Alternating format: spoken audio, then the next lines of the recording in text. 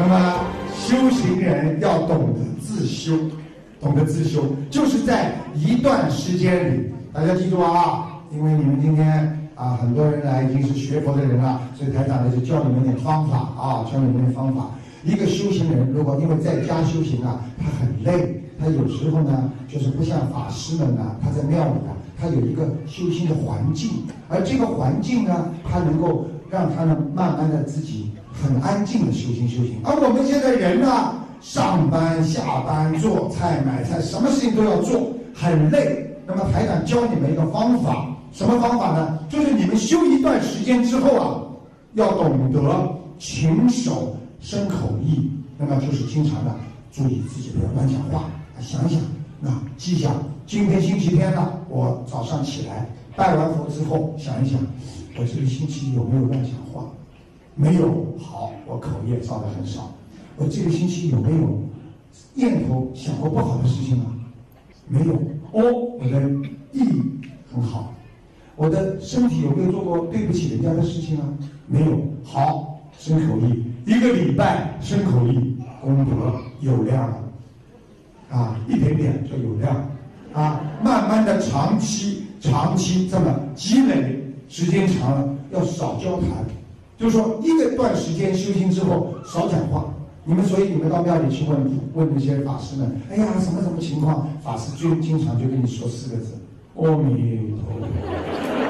他不讲话，对不对啊？学的越高。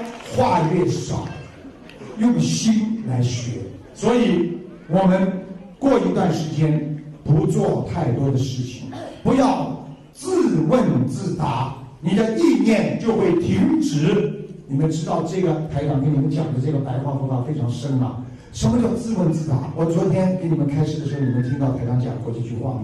因为今天啊啊，我告诉你们，一个人都会自问自答的。比方说。这个事情我能做吗？马上心里有另外一个声音出来，不能做。为什么不能做啊？他对我这样，我为什么不能对他这样？哎，你这样也太过分了吧？什么过分啊？我就是要骂他，骂了之后他打你怎么办？他打我，我还有两个儿子呢。大家听得懂吧？这就叫自问自答。你修行这样对不对啊？哎，没关系啊，修行啊，我也是做功德呀。我骂了他，他也好了呀，或者怎么样？他有自问自答，因为心有内心和外心。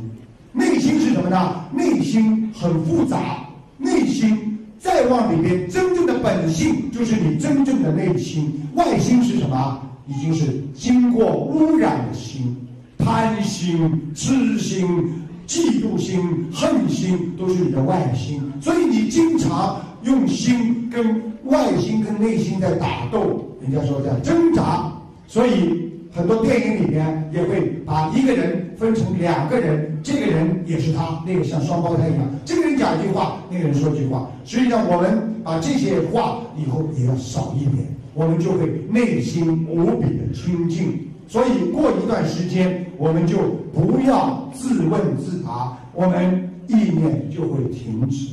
举个简单例子，我们很多老妈妈烧菜都要自问自答：你的心怎么会干净啊？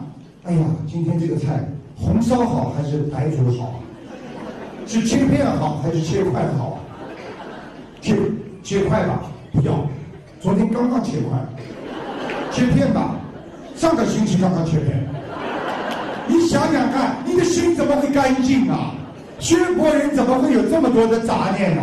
不要有杂念，抛弃杂念，忘却杂念，我们才会心静无思。